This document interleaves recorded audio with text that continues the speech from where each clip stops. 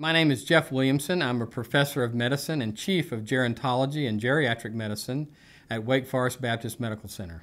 These results are part of the overall SPRINT trial and focused on a very important subgroup within SPRINT, persons over the age of 75. High blood pressure and its complications is very prevalent in this age group.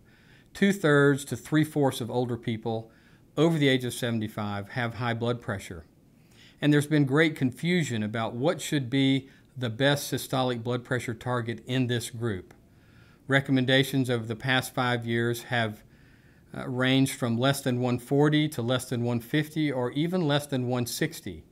And so Sprint was designed to answer that question um, in this population and to give better guidelines to, their, to the physicians and their patients for treatment targets for systolic blood pressure.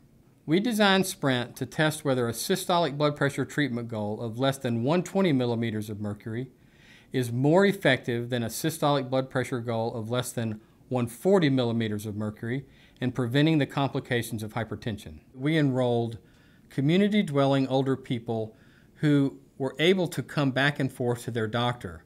In other words, not residents who live in a nursing home or assisted living facility. We randomized 2,636 individuals to either the intensive or the standard blood pressure arm.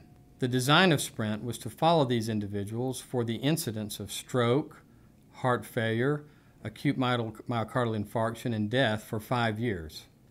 However, at just over 2.3 years, the study was stopped because individuals assigned to the intensive treatment group fared better and had a much lower risk of these outcomes than did, than did those assigned to the standard group. Individuals assigned to a target blood pressure of less than 120 millimeters of mercury had a 30 to 35% lower risk of stroke, myocardial infarction, congestive heart failure, and death. Individuals over the age of 75, even those who were somewhat frail, fared just as well in the intensive blood pressure arm as did those who were in the standard treatment arm.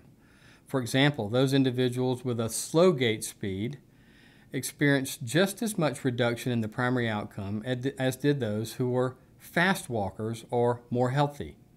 It's also important to note that we found no greater risk of falls in older people over the age of 75 on the intensive therapy compared to those who were on the standard therapy. This is also a very important finding because recent literature has called into question the safety of intensive blood pressure therapy for those individuals who were older. Another important message from Sprint is that 90% of the medications used in this study were generic. And to achieve that blood pressure goal of less than 120 versus less than 140, on average, the patients in the intensive group required only one more medication per day than those in the standard group. The findings of SPRINT are very important for, for clinicians in that they give us more clear guidance as to the best blood pressure treatment goals for older people. One thing that health systems and the medical community will need to work better on is careful and more standardized blood pressure measurement as we treat older and older patients.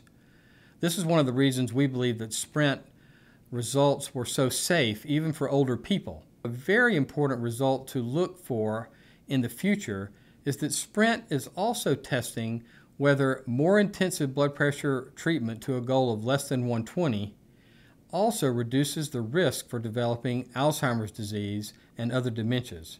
These results will not be reported out until at least the end of 2017 because we continue to follow the participants for these outcomes.